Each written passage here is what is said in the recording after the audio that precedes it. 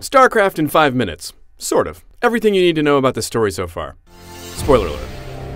Welcome to the future, but it's not all flying cars and sex robots. Ah, hell, this thing ain't gonna hold. There's this alien race called the Zerg that expands onto soiled bathroom mats, and they want to eat pretty much everything. The humans, called Terrans, are fighting among themselves. Terrans are really into video conferencing, and they call each other a lot about emergencies, including this one involving a group of colonists in trouble. Distress beacon activated at 0658. Marshal Jim Raynor tries to save them from a Zerg attack and torches an infected human base in the process. It belonged to the Confederacy, a human faction with an underdeveloped sense of humor. You will immediately tell me why you have called me from my desk, Private. Under Arcturus Mengsk, they all go looking for some data disks which reveal the Confederates knew about the Zerg problem but kept it a secret. His sidekick Kerrigan helps a colony rebel against the Confederates and poaches one of their leaders named Duke.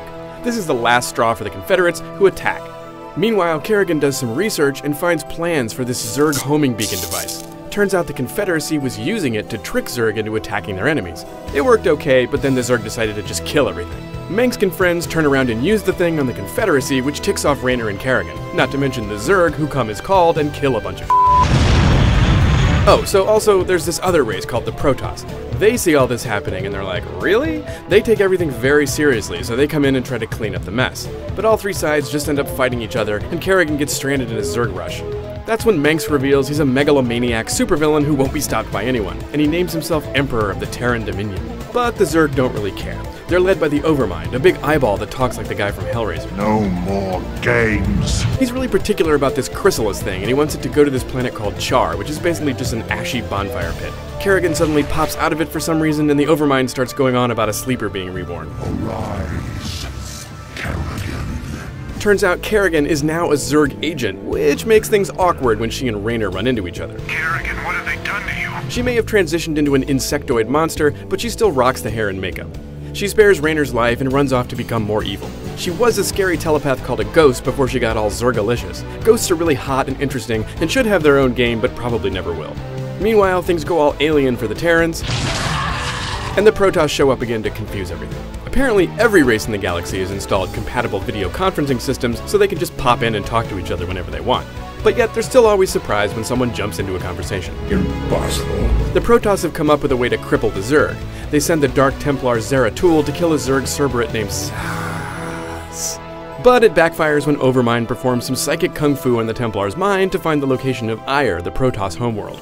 It turns out the Zerg and Protoss were created by this ancient race called the Xel'Naga. The Overmind wants to merge them into a super race called the Eternal Swarm. The Protoss kind of hate this idea, and so a bunch of them have a quick video conference about it. This guy Tassadar pulls a Gandalf and tells the Zerg that this shall not pass. Everyone builds some units and employs some strategy in real time, but it's going to take more than that to kill the Overmind, who's still camping out on Aiur. Tassadar makes the ultimate sacrifice and crashes his ship into Mr. Eyeball. It works, but now Aiur looks like a McDonald's parking lot, ruined and covered in unidentifiable goo. So, the Protoss give it up as a lost cause and head to the Dark Templar world of Shakuras. Dark Templars are kind of like space ninjas with lightsabers. But Kerrigan suddenly shows up to drop some fancy crystals into this Xel'Naga temple and is like, I'm sorry I'm a Zerg, but it's all good because the Overmind is dead and wasn't that cool to begin with anyway. But apparently, Overminds grow faster than hippies at a drum circle because a new one's forming on Char. It's great that everyone's working together, right? Not really. Surprise, surprise, Kerrigan is actually still evil and was working for the Zerg all along. She bails while the rest of the crew delivers the crystals to the temple, which does its best Independence Day impression and wipes out all the nearby Zerg. While all this is going on, the Terran United Earth Directorate under General DuGalle figures out that Mengsk is being a total space jerk with his Dominion project and they go after him and the Overmind. Despite her clearly being very, very evil, everyone still trusts Kerrigan. But not so fast. She takes out Duke and Fenix. Raynor is really sad about his bro Fenix dying and vows he'll take down Kerrigan. I'm the man who's gonna kill you someday. I'll be seeing you. She's already over on Char, though, poning the Overmind and taking over the Zerg. Yeah, she's evil, but not as evil as this random Duran guy, who it turns out has actually been masterminding the whole Zerg Protoss hybrid race thing in his spare time. But everyone's still pissed at Kerrigan for betraying them like a hundred times, so they attack her. But she kicks their asses again, but lets them live so they can rebuild and she can incorporate them into the Zerg swarm. All this is very disturbing, and everyone freaks out. De puts a bullet in his brain pan. Zeratul goes into exile, and Raynor grabs his leather jacket and goes chasing after Mengsk. Kerrigan disappears, hopefully to change her evil ways. But the real issue is probably Duran, who is also nowhere to be found. Maybe Raynor will be like, Hey Duran, I'm on the hunt, I'm after you. My mouth is alive with juices like wine.